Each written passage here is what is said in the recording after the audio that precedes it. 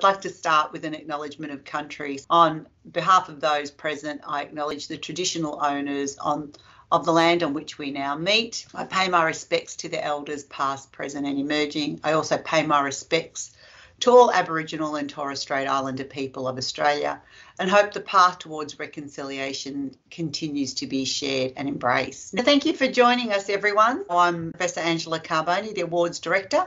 I've got a small team of two that help me manage the awards, Angeline, and we've also got Jin, who's the awards coordinator. And we've got an exciting agenda lined up today. We'll be talking about writing a successful program application. We've got Professor David Sadler. His substantive role is the DVCE at University of Western Australia, and he provides strategic education leadership across the whole university. And he's always been passionate about the student experience and how this directly links to teaching and research opportunities provided by our universities. He was also appointed in 2021 to the board of the UK based Advanced Higher Education, which was formerly known as the Higher Education Academy. And last year he took on the role as the chair of the program's award committee. And he's agreed to continue on in that role for this year as well. So thank you, David, for joining us. David is going to start off the session today and talk about his reflections on the program awards, particularly focusing on the why are you applying for an award? What are you applying for? And how to go about applying. We also have two program award recipients here with us. Allie Ford next. Allie Ford, former colleague of mine back at Monash University, and she is from the ISAP team. The ISAP stands for Integrating Science and Practice, and she was successful in receiving a program award last year. And ISAP is a case based learning program used in the Faculty of Medicine, Nursing, and Health Science. And the program is actually used to teach students some critical thinking and reflective practice skills. Allie will tell us more about that when we come to have a bit of a, a panel discussion. And then I've also got Jade Kennedy. Jade is from the University of Wollongong and he's part of the Academic Development Recognition Team. And in 2017, his team, along with local Aboriginal elders and the community, co designed Jindaola. That's an institution wide education development grants program program aimed at embedding Aboriginal knowledges and perspectives into the curriculum. And I know a lot of universities are moving in that direction, and that's a really good thing. So we're going to hear a little bit more about that later. David, I'm going to pass it over to you where you can give us your reflections on the programs and then maybe open it up for questions. Thank you. I also want to acknowledge the traditional owners and custodians of this boodja, Whadjuk people of the Noongar Nation. So I echo very much the acknowledgement uh, Ange gave at the start. I'm not going to go into great depth. I think you've already been given a bit of an introduction to my engagement in this process, and it's actually been quite sustained, I think. So these reflections, though they're personal, do have some grounding in a bit of kind of history. And I just want to say that the reason why I really wanted to do this is because the program awards I think are really important, and I'm really looking forward to hearing the two winners recipients. We don't get enough applications. We don't get applications in some of the categories to the level that we really need, and I'll talk a bit about that. When you're thinking about applying for the one of the really important things is to make sure you've got the right category for application. Category two and category four, we don't get enough in. We get sufficient in categories one and three. Quite frequent that we will recommend this application should have been actually located in or could have been located in another category. Working out the category becomes important. A really good place to start is the Universities Australia AAUT website, where if you look at the assessment criteria and the tip, there's a lot of good material there. So all I've done here is just pulled out the core assessment criteria, and I'll speak a bit more about those. But as I say, over and above what I anecdotally say today, look at the website. It's an obvious point, but often we don't see everything in an application. My suggestion for my deeper dive on reflections is that you ask yourself as a team four questions. Why are you doing what you're doing? What is it that you're doing? How are you doing it? And does it matter? What's the impact? So what? Why? What is the issue that needs addressing? You've got to be very clear on the problem or issue that you're forefronting and it's, if you like, significant, kind of a contemporary issue, perhaps, you know, just of that year, but it's been over a period of time. And it has significance both within your context, but also perhaps within the discipline more broadly or across the university, or indeed sort of internationally or nationally. And I think establishing the problem is so important because when you get to the so what, you can then start to say, and in response to the problem, we have achieved X and Y. Because impact or the so what question is the one where most applications fall over. Then I think in the why is why are you the right team to explore the issue? What is your track record, both as individuals and as a team, in terms of the authority and the credibility that you've got in pursuing that particular issue? It could be through SOTL type activities, it could be through publications, it could be through previous awards. And what is your experience of the issue. One area which I find is really interesting is impact and the understanding of how this aligns with perhaps some of the, the institutional strategies and, if you like, what might be imperatives at your subject level through deans of science or deans of health or whatever it may be, is actually support you as a team are trying to achieve. So this is a really important one and often gets skated over, being very clear on why you're the right team for this. On the what, this is important for a different reason. One, I think really picking up on the why why should this be awarded a program award? Why should this be recognized nationally? And why isn't this just the university's business? We ask that question a lot. Understanding, if you like, the significance of the project is really important. Then you've got the whole scope of the question. And a critical one is the numbers of students involved over time. Is it a small number of very deep engagements or a large number of students affected? And also the unit or modules or whatever we call and w- one of the reasons we were speculating why programs might not get enough applications is there's a confusion about the nomenclature of program within a university setting. In this context, it's a, an initiative or a, a, body of work that's tangible rather than it has to align with a, an academic discipline program, but it can. Who's involved? What's the cross university involvement and engagement? What are the partners that you're employing in this? This is very important later on as well for evidence gathering, but you know, are you in partnership with a another education provider, another university, TAFE, industry, and then what is the specific role of each of the team members? And I'll come back to that point, but being very clear that the expertise of the team can be different and it actually applies itself differentially across the project. And that will help you, I think, determine in the end what category to apply for. As I say, we don't see enough, despite all of the emphasis on work integrated learning in the sector, we don't see enough in that space. And we don't see enough in the collaborative education space, despite the, the relationships that we know we all have with industry, employers, and TAFE. So actually understanding the significance of that kind of project really important. Now the how and these are areas where some of the assessors will pick up some of the strengths and weaknesses of the applications before they come to the panel. These are important areas to focus on. And i'm going to work up from the bottom actually. I think really understanding the long-term sustainability of the approaches that you've used. Feasibility and the applicability outside of just your immediate environment is really important. Is it a really costly and not repeatable initiative that's been very successful, or is it a relatively successful and adaptable?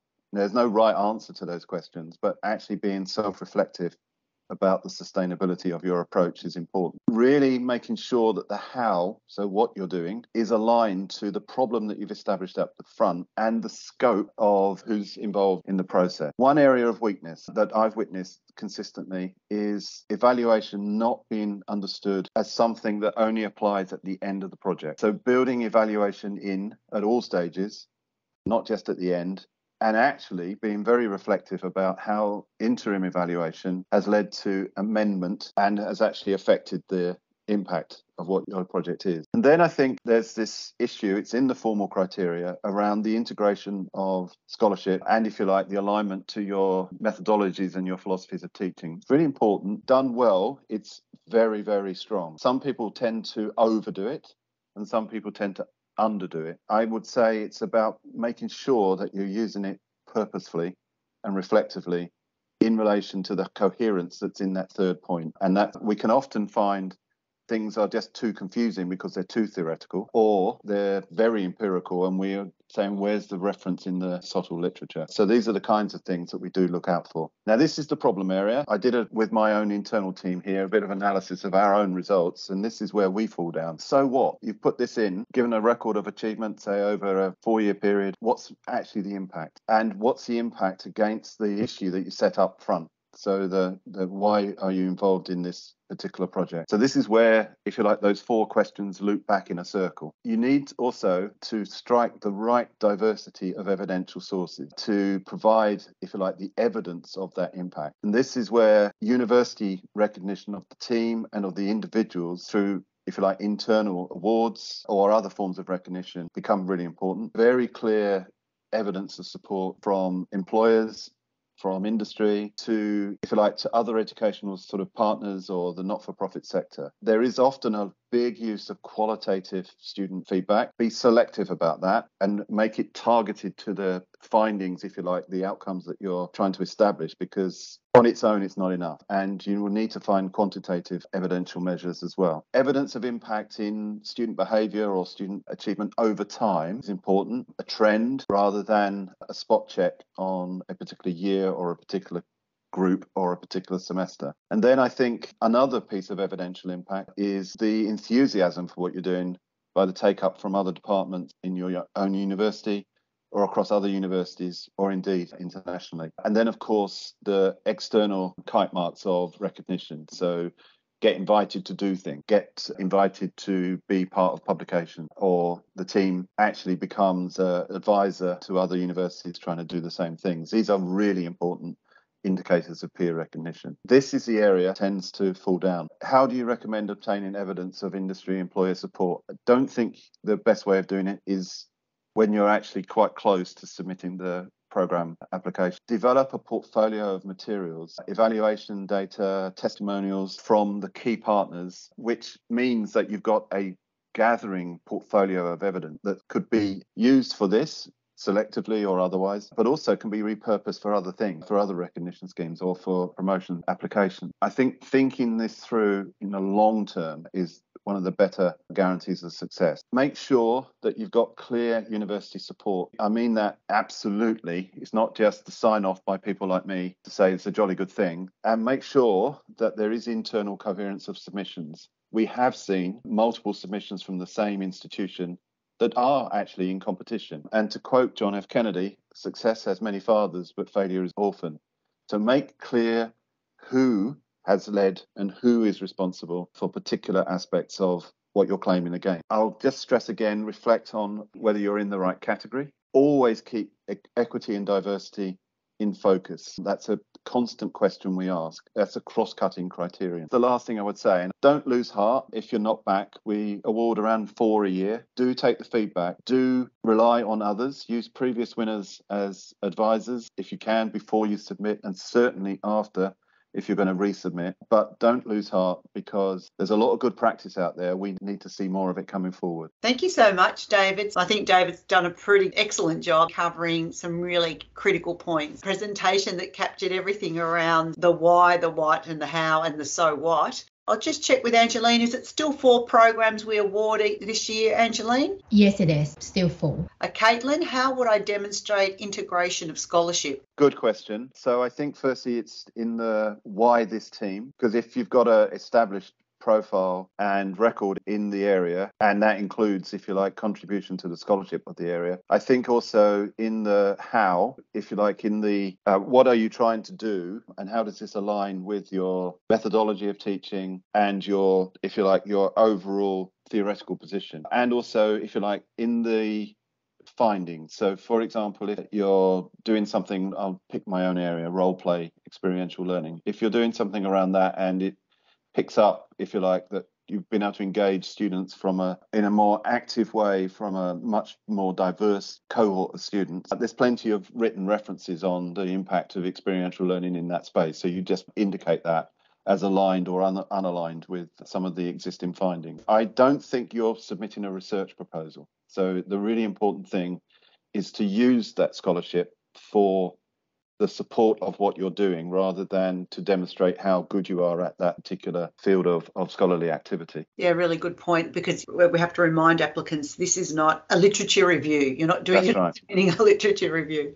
Yeah. David, there's another question there around tips on your references. Sharon, I might need you to clarify what you mean by that. Thanks, David. That was fantastic. You have to select two people to be referees. I should have probably put not references Um, and thinking about is it does it matter if they're from the university or should they both be outside the university or should that what's your thinking on that please I think firstly, so that I don't give you the wrong steer, just check what's actually required in the guidance on the website. My memory of this, and sorry if I, this is a bit hazy, is that one of the referees is often the people like me, the deputy vice chancellor, that's doing two things. One is indicating university support, but also is able to talk about the the excellence of the group.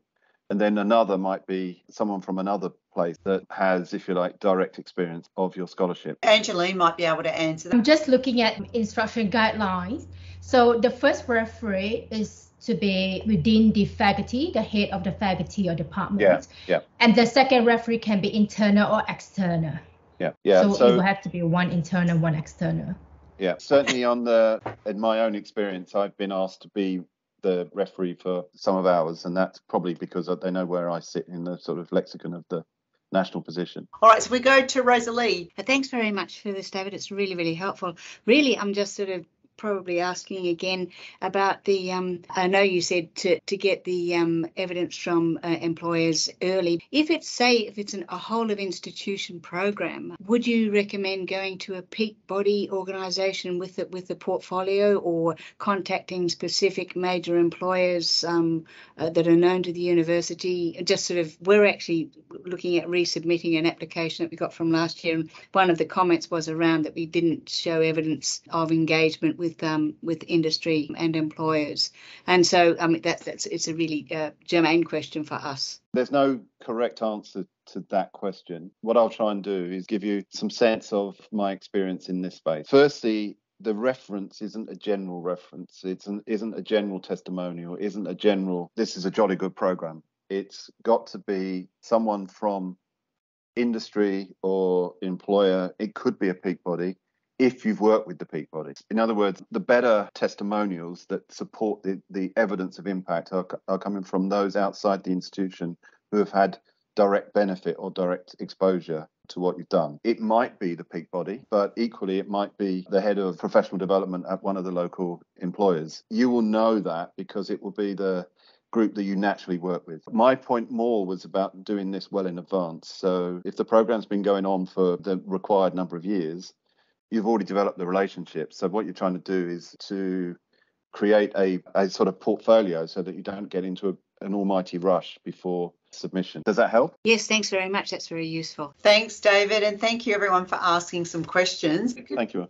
But now what I'd like to do is I'd like to bring Allie and Jade, and we'll just do a little bit of an informal chat. And I thought we might start off with Allie. If you can tell us just a little bit about your program and then we'll move to Jade. So the program that you got the award for last year, can tell us a little bit about it? Sure can. So our program, as Ange mentioned at the beginning, was called ISAP or Integrating Science and Practice. It's something that one of the members of our team kind of came up with many years ago. It's worked through multiple iterations, and the four of us in the team were the person whose idea it was, who's kind of driven it along and three of us who've been project officers over different points in time. The, the project or the program that we have is a case based framework for learning and assessment the first half kind of looks like any standard assessment students might do, where they're presented with a case and they need to do something with it and respond to that, and then usually submit it or prepare it before class. But then the point where our program sort of ventures off and becomes a little bit novel is that once students submit that first part, they then get access to an expert or practitioner response to the same task, or sometimes from multiple practitioners. And there's a second requirement to what they do, which is then to do a reflection comparing their approach with the experts and to really unpack the learning that's gone on in that space. So it started out as an idea, then it was on paper, then it was a web-based thing, and, and now it's kind of something that's very much templated and standardized in our learning management system. Um, and we have sort of templates that can be used elsewhere. And it, it started in one little school in our faculty and has spread through the faculty into other faculties. It's used in professional development, and we've got partners in a few other universities internationally as well. Excellent. One, one more question before I move on to Jade. What was the problem you were trying to address, Allie? The, the issue that it came from is I'm working in the health faculty, and that's where this program grew up. There's kind of a well known issue in the space that students are there and they get all the theory presented to them, and they can do great essays and write lovely reports and, and do all of these things and then they get out into practice and have no idea what's going on so it was really about trying to bridge that gap and really contextualize that theory so students can see why they're learning it and learn to apply it before they're there with a patient in front of them having a major crisis or something to actually start giving them a lot of those underlying skills that it's not just theory over here and practice over here but to really kind of help them make that connection Great. And over to you, Jade. Can you tell us a little bit about Jindaola program? Yeah, Jindaola. Yeah, look, it's a um, 18 month program that looks at the ways in which we can bring interdisciplinary teams. So, you know, that could be a, a faculty wide or a school, but you're essentially building a team with what we call knowledge holders or, you know, knowledge experts in their fields, and you're mixing them all up. So you've got a whole bunch of people. The the cohort would look like about 40 people, and you'll draw about four of these teams together. You'll move them through five different phases over that 18 months, and we follow an Aboriginal approach to the ways in which we can start to transform curriculum, really. So there's a big push as you sort of mentioned before, Ange, to increase Aboriginal knowledges and perspectives within our curricula, in, you know, within the higher education sector. Um, and so that's an impetus in the in the first instance. But what we found was a lot of you know the pressure that a lot of teaching academics and researching academics are under is to just plug and play, find something, plug it in and play it. So Jindaola really works on building the cultural competency and capacity of participants over that time.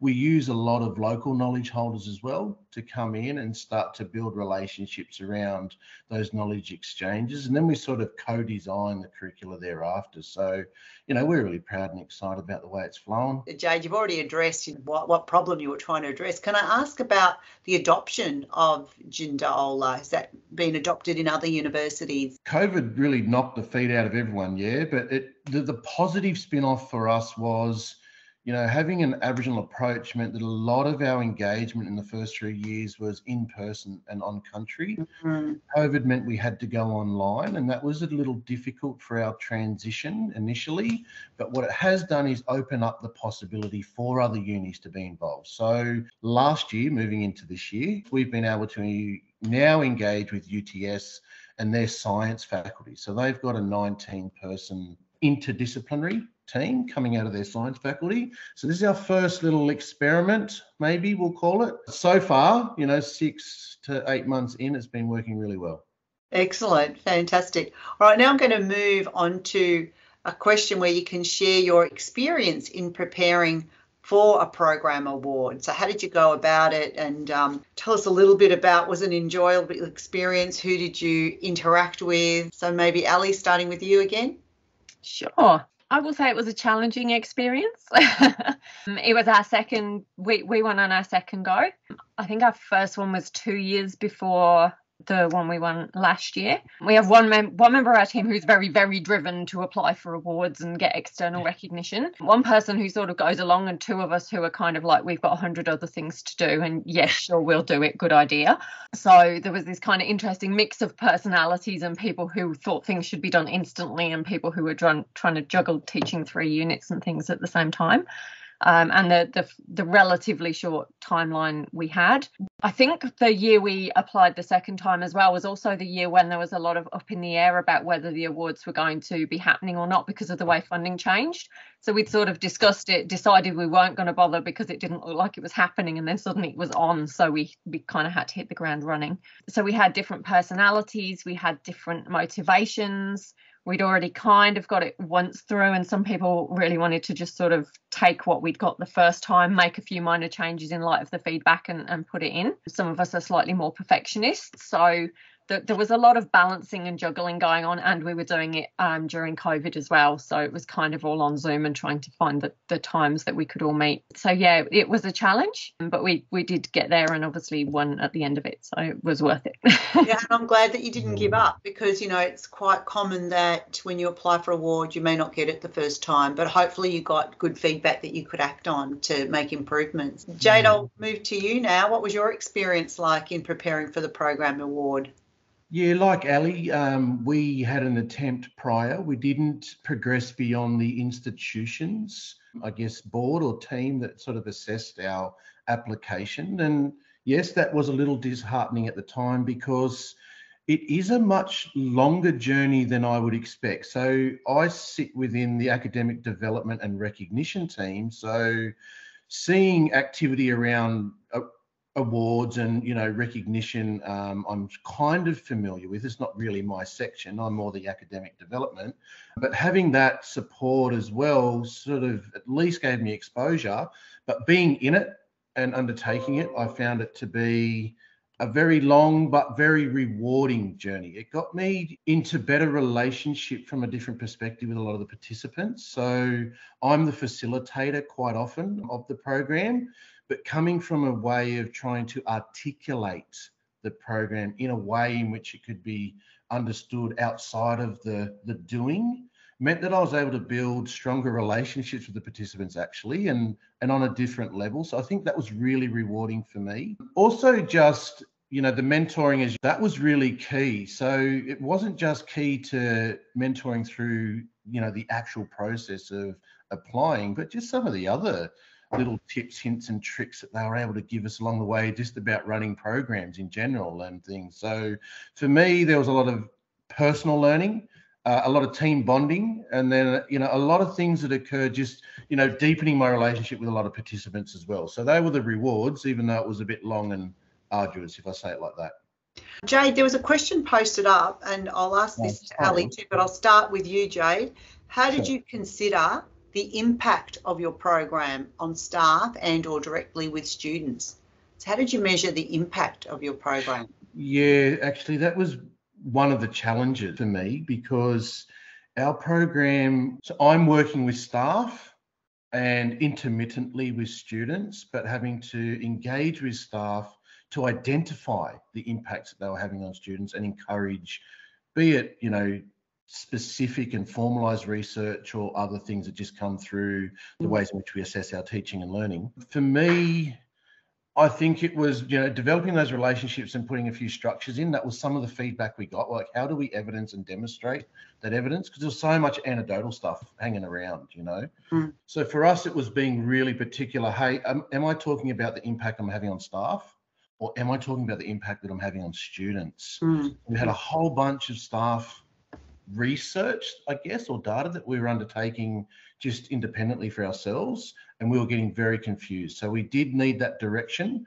and we got into a space where it was what's going on in the classroom, what are students telling us, how are they telling us, and we were able, you know, after the not progressing the first year, to really establish a few mechanisms for ourselves, and they was really around measuring assessments, and you know, because it's institutional wide and lots of different faculties. It was also about being colourful in the sense that we were looking at varied, you know, first year, second year, third year, this degree, that subject, consecutive subjects, you know, if one's a prerequisite and thereafter. So being just very varied in that and then just identifying, you know, the diversity around who, where, where, and when. For me, I think that was sort of the guidance that we really were given, and then we just tried to really instigate a follow up of that in that second year of application. Great. And what about you, Allie? How did you consider the impact of the ISAP program? I think we were quite lucky in that when I came in to my project role, a big part of my focus was trying to get more uptake of the program. One of the things we did quite early on was go to people who are already using it and ask them what was working, what wasn't, and also look at the kind of things students were doing with it. So, we, because we've got that reflective step, we actually had access to student mm. reflections that really highlighted where learning had happened and what in the program was working and what wasn't. So we, we were sort of able to look back at what had already happened in that space and start to think, well, how, how can we evidence this more strongly? How can we collect this? So even before we were we were at the stage of going for awards, we were kind of saying to people, okay, if you're doing this, can we get permission from your students to use their reflections? We made little videos with some of the academics who were using it about their experiences and why they were using it to, to use to promote it to other people internally. So we had this kind of nice bank of things already that were starting us on that journey that gave us really easy fallback. And when we wanted to go and kind of go, can we get some more data from this or would you like to research this? We'd we'd got that in place. And we did also have a couple of departments in our faculty who took it up because they wanted to do some research on educational approaches. And they'd actually got funding to do that. So our program was the the tool they used to to back their research and to have something to research and publish to meet their other criteria. And because we'd sort of advised on that we were able to go to them and go can, can we kind of borrow some of your data please so we, we were in this really fortunate position where we, we'd sort of started it as part of our growth strategy with our program from the outset. So we already had a lot of things in place. So I think it links back to what, what David was saying, what Jade sort of said about sort of thinking about these things early and building your portfolio so that you've got these things ready to go um, and, and that you can keep building on them and sort of have the eye to where it might go in the future as well as where it where it's at right now. Great. Thank you. Jade, I'm going to ask you, you already touched on this, but I'm going to ask you what were your biggest challenges in putting together the program application? Yeah, so let's emphasise the evidence and demonstrating it, but I won't focus on that too much. I think fitting it all into 10 pages, that is a real challenge, guys. And I'm not trying to be flippant or silly. Um, it's for us, you know, when you've got a, an institutional wide program by then, we'd done five years. So that's essentially a couple of hundred participants, and that's probably about 100 subjects. And so what was really difficult was what to keep in and what to get out. And that's very difficult for someone like me. And this is where I really needed my team because I was maybe a bit emotionally or personally attached to some of the outputs and outcomes through the program, but they were not necessarily the right ones that to be able to present the diversity or to present into some of the criteria that are asked within um, the guidance that you're given for the application. So that was a bit hard. And so you have to remove yourself a bit, figure out what's critical and what's not. It's about really getting some advice from outside of your team as well. Um, I think so. For me, I found those personally challenging. I will say that you really do need to make a time commitment. So if you're a busy human, um, and I'm sure all of you guys are, we really needed to meet weekly. And I'm not exaggerating or being silly. It's it's a, it's a real time commitment. And to make something into the 10 pages, as I'm saying, is not as easy as it might sound. So I think for me, they're the key ones at the moment. Really think about your evidence, as Allie was just saying, set it up. Really consider what that evidence will be when it's going in and how you are attached or associated with. You're trying to respond to the criteria, not just what you think's awesome and then um, really getting that outside perspectives and influence at critical points to just keep that momentum you know like you're meeting each week and it's easy to fall into the busyness and the distraction and go through the processes but having key people come in at different times helps that perspective and shift you through the process and the journey. Thanks jade. What about you Allie? Have you got anything other than what jade has mentioned as a challenge my challenges were more about our personalities, I guess, within our team. But the, the kind of approach we took within that space was then, and the first time it was very much sort of just get dragged along by the strongest personality. The, the second time around, like some others of us had kind of got a bit more experience in how to work and, and play in this space. So we, we were a lot clearer in defining our boundaries and saying, well, no, we're not all going to do everything here. Um, mm. originally, I think it was very much like, I'll write this bit, you write this bit, you write this bit. And the second time around, we were much more know where are our strengths in here. So one person was the driver and they did the bulk of the writing and, and created the bulk of the, the first draft. Mm. One person was kind of our data nerd. They'd kind of done most of the data wrangling and driven some of our internal research. So they handled that part. Um, someone else was our kind of technical whiz, so they they sort of focused on our, our video. We we had two kind of um, options for evidence. So one of them was a video, so she sort of wrangled that. And my skill set is actually in writing and and being analytical. So the thing Jade was saying about having that external person and that external mm. perspective, that was my job. So I actually completely distanced myself from the, the first draft in this second run through and just went, no, you, you write it because my skills are in the editing. So I let other people do that. And then I came in and went, no, this doesn't fit. This isn't jumping through the hoops. These aren't about the criteria. This is in the wrong place. That's a skill set that i have so i was able to bring it. But if you don't have that in your team you need to find that person. You need that critical friend and you need them early. I guess another thing is really having the trust in your team because the first draft we have i said you know if you if it comes to me you know what I'm like with writing, and they did, and I, I literally shredded it and, and then rearranged it and put it back. We we had the relationship in our team where that was going to work. So you need that critical person who will do that and tell you it's complete rubbish and, and that things uh, you've got all the wrong things and the wrong focus. So really kind of having those those clear roles and that trust within the team that it was going to come together and we were all trying to make a good application even though it might not have looked like it at certain times. thanks, thanks, Allie. I'm just going to go to some of the questions on the chat. One of them is do teams generally submit a team citation first and build to a program award? Or do they go straight into a program submission? I, I, can answer that one, having the overview. Most people for programs go straight into the program submission. Usually, you apply for a, a citation and then you would apply for a teaching award because a citation is just addressing one of the categories, one of the um, criteria of the teaching awards.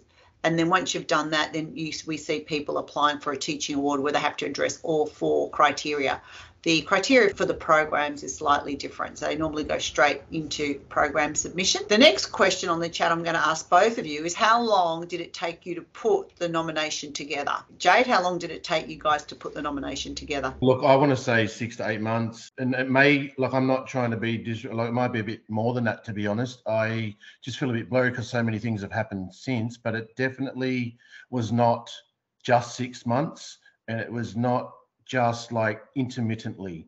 Mm-hmm. It was a regular, consistent, weekly catch up for months. And some of those meetings were definitely longer than an hour. And especially towards the end, you know, we're talking half days and some other support outside as well. So it was a big commitment for us to to bring it into the application that we ended up, yeah, nominating. Great. Allie, how long for you guys? I, I, think we had the complete opposite experience. I don't remember the first time through, and I think there was a bit more, I think that was a more structured approach. The second time, as I said, we kind of we were going to do it, then it was off the table because it wasn't happening, then it was. So I think we actually started like late April and the internal deadlines were around the end of June. Mm. Um, so I, I, think we had a couple of quite intense meetings at the beginning, divvying things up, but it was very much this person goes off and writes, this person does their bit, things go together, I pull it apart, and then we start again. So we, we were working very asynchronously. We we actually had the opposite experience to Jade, where it sounds like you had productive meetings, we didn't. We ended up screaming at each other in our meetings and getting really narky. we, we're a team who definitely works better um, asynchronously. So as was probably more like eight weeks, but there was a whole lot of background to that, and we'd already gone through our internal Dean's Award and then VC's Award and then the previous draft as well. So, in, in terms of the whole process, there was probably a lot more going on, but certainly the final one was very intense. Quick tip Jade, one from you, and Allie, one from you. Use your supporting material wisely. Would be my biggest tip. Point to your website, point to your things, but that's your critical bit your supporting material, guys. All right, Allie. Um, I guess my two would be tell the story don't just assume that you're writing about your thing. You're writing a story for people who don't know your project, don't know anything about your context. So you really need to start with a really clear explanation and then really step them through everything that's gone along the way. And the other one is you're applying for an award, you are jumping through hoops. That is the event you're going through. It doesn't matter how good you are at throwing the javelin, running the 800 meters, or pulling a triple back somersault. If you're not jumping through the hoops, you're not going to get the award. So it's really about focusing on what you need to put in there, which I guess links with with Jade's thing about making sure you're using the right evidence in the right way. Mm. But focus on the criteria. That's what you're being judged on. Everything else is window dressing and it's not going to get you anywhere. Thank you so much, Jade, and thank you so much, Allie. If I can get the people connected to give them both a virtual clap for their contribution, and I hope you found that little interview with them useful. Angeline, I'm going to pass the floor back on to you. Sure. So this is just a reminder for the nom- nomination key dates. Do note that all applications have to go through your institution's contact officer. So by Friday, 26th of August, your ICO will register the nominees' details via the online portal. And by Friday, 16th of September, your ICO to submit all application online. And this is just to let you know that we have three more PD sessions. So in a fortnight on the 30th of June, we have our chair of award committees of teaching awards, Professor Pete Patterson, to present on writing a successful AAUT Teaching Awards applicants together with two 2021 uh, teaching recipients. And on the 14th of July, we have a session on applying for a Neville Bonner Award. And that will be presented by Professor Susan Page, who is a 2018 recipient. And on the 28th of July, we have applying for an early career application. We have the 2018 recipient, Professor Christian Morrow together with two 2021 recipients. So don't miss the upcoming sessions. I want to again thank the presenters, David, especially you as the chair of the awards committee and how busy you are, because I know this is your role that you're doing above and beyond your normal substantive role. And I would do want to thank Allie and Jade for their time to give us their experiences and insights into putting together a program application. So thank you, everybody. Enjoy the rest of Thursday afternoon. We look forward to, I'm sure David will be looking forward to reading some exceptional program award submissions. Bye, everybody.